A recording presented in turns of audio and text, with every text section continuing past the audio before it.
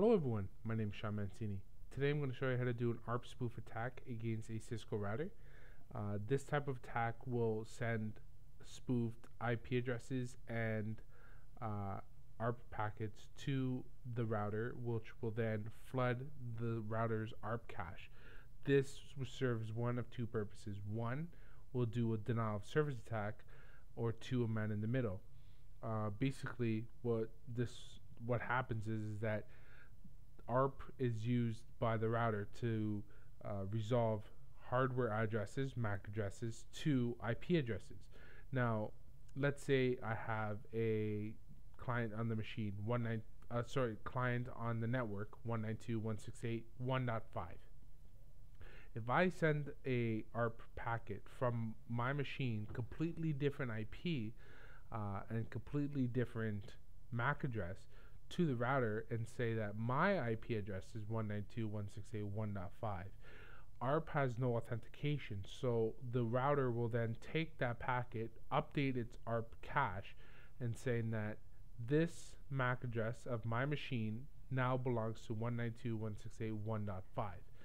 What will, what will then happen is any information that is sent from that router to 192.168.1.5 that packet will then get routed to me rather than getting routed to the actual machine. That's the denial of service because that information is now bouncing off my network, my machine. Now, man in the middle would be that packet hits my machine. I then forward that packet to the actual machine it's supposed to go. Open up my my um, packet sniffer and I see all the information that goes between the router and the client. For this video, I'm going to show you what the attack looks like on a Cisco router, and um, then I will show you in another video how to protect against this type of attack. Uh, so let's begin. Now I'm using the Metasploit, uh, the Metasploit series of apps. So we're just going to go into our Metasploit terminal. I'm going to assume that you already have, uh, you already know how to install and launch Metasploit in the console. Um, but if you don't, there's a video on my channel. Uh, it's basically a tutorial on how to install Metasploit and run it for the first time. So I suggest checking that out before checking out this video. Uh, so that'll give you the basics on how to use Metasploit. So first thing we got to do is load the module for ARP spoofing or ARP poisoning. So we're going to do use auxiliary. It's under spoofing spoof ARP ARP poisoning. Um, you can just hit you just hit the tab uh, button to fill out the rest for you. So if I just, for instance, here, if I just type in spoof and then AR, hit tab, it'll fill the rest for me. Okay, so now we'll type in info to see the information we need. So we need the D host, which is the target's IP address, the interface, which is the interface that we're going to use to perform the attack, S host, which is the spoofed IP address that we're going to send to the router, and if you want, you can spoof the MAC addresses to which the the um, one that you want to use.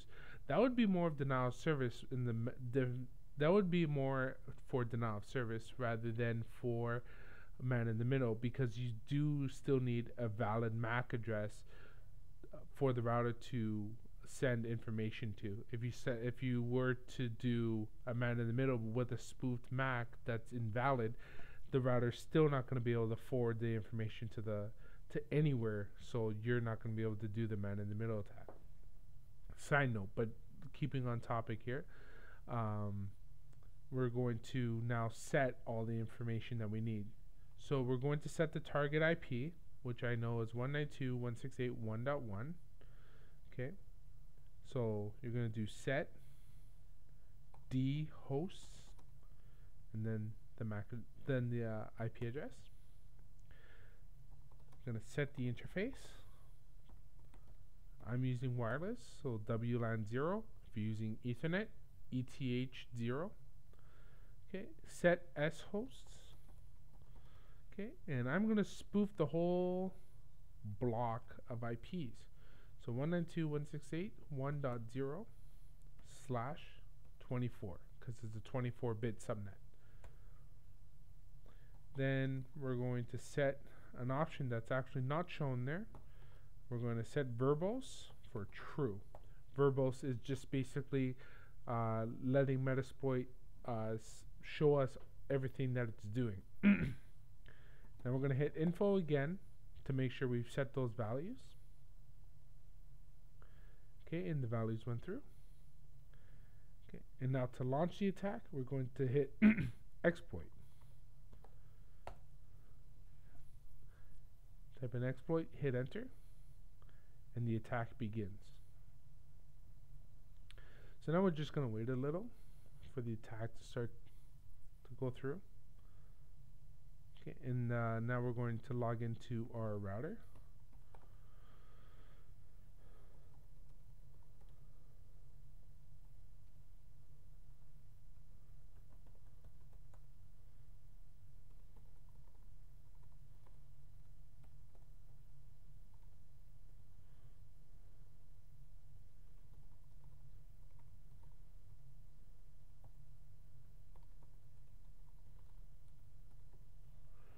Okay, and now that we're in the Cisco, we're going to do a show ARP.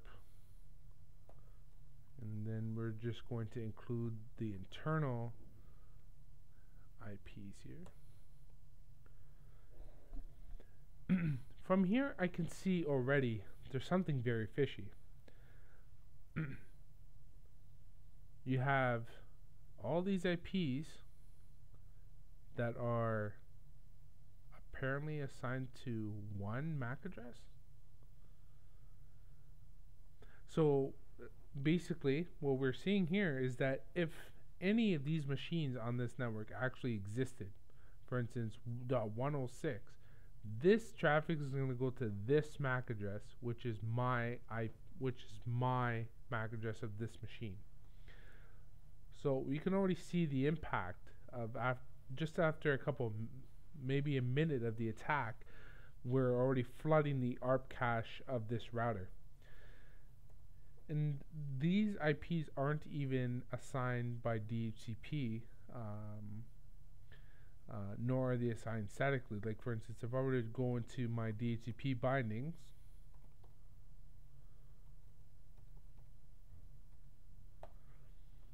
well, DHCP assigned one IP to this MAC address. And yet, in the ARP cache, it's taken up all these IPs.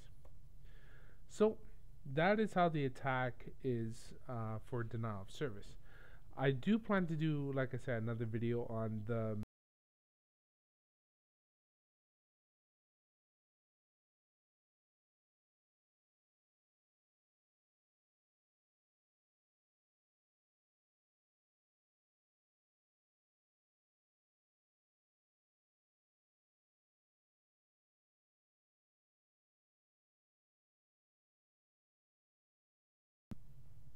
And uh, as always,